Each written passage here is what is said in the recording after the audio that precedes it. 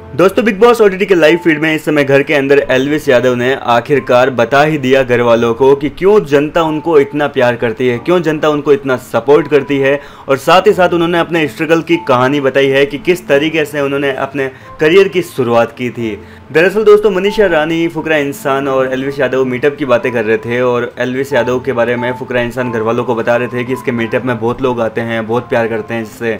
ये सुनकर मनीषा रानी कहती है कि अच्छा इतने बड़े आदमी है क्या हम तो इनको हल्के में ले रहे हैं? कहीं ऐसा ना हो कि बाहर जाने के बाद पता चले हमको कि ये तो बहुत बड़ी चीज़ है। और ये सुनकर यहाँ पर एल्विस को भी थोड़ी हँसी आ जाती है। खैर दोस्तों, एल्विस कितनी बड़ी हस्ती है, ये तो सभी जानते ही हैं। हालाँकि मनीषा रानी के लिए ये सब कुछ नया है। और दोस्तों, इस दौरान यहाँ पर एलविस ने बताया कि क्यों आखिर जनता उनको इतना प्यार करती है। सबसे पहले उन्होंने बताया कि उनके जो फेवरेट जगह है ना मीटअप की, वो है राजस्थान। जी हाँ दोस्तों, जयपुर में उनको मीटअप करना काफ़ी पसंद है और जब पहली बार उन्होंने अपना मीटअप रखा था, तब उनको खुद को नहीं पता था कि उनको जनता कितने, कितना सपोर्ट करती है, कितना प्यार करती है और कितने लोग उनके मीटअप में आएँगे। और उनकी पहली मीटअप में हद से ज़्यादा भीड़ हो गई थी और वो खुद वहाँ से बच बुचा कर निकले थे। ये सारी बात उन्होंने बताई थी। वहीं दोस्तों, उसके बाद में उन्होंने बताया कि उनके करियर की जो शुरुआत है, वो उन्होंने बहुत ही ज़्यादा स्ट्रगल भरी लाइफ से की। उनके पास में पैसे नहीं होते थे, फ़ोन ठीक से अच्छा फ़ोन नहीं था, फ़ोन से वीडियो बनाते थे, लोगों के बीच में जाते थे, मम्मी की चुन्नी ओढ़ ओढ़ के लोगों के साथ प्रैंक किया करते थे, और वो वीडियो फ़ोन से बना बना कर अपलोड किया करते थे। उनके पास कैमरा तक नहीं था, वो अपने दोस्त का कैमरा यूज़ करते थे, और दोस्त का कैमरे का जो लेंस है, पचास एम का एक लेंस उन्होंने खुद अपने पैसे से लेकर आए थे।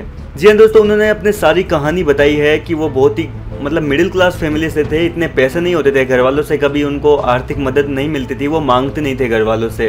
और इस तरीके से धीरे धीरे उन्होंने वीडियो बनाना शुरू किया था और एक साल तक उनको एक पैसा तक नहीं मिला था। जी हाँ दोस्तों, उन्होंने बताया कि वीडियो से उनको एक साल तक एक भी पैसा नहीं मिला था, वो लगातार स्ट्रगल कर रहे थे, लेकिन एक टाइम ऐसा भी आया था, जब उन्होंने हार मान ली थी और वो बाहर पढ़ाई करने के लिए जाने वाले थे। लेकिन फिर उनको धीरे धीरे सक्सेस मिल गई सफलता हासिल हो गई और वो फिर सफलता की सीढ़ियाँ चढ़ते गए। ये सुनकर यहाँ पर घर वाले काफ़ी हैरान हो गए कि आखिर इतनी स्ट्रगल किया हुआ बंदा आज उनके साथ बैठा है और, और दोस्तों वाकई एल्विस क्या हस्ती है ये तो हम सभी अच्छे से जानते ही हैं।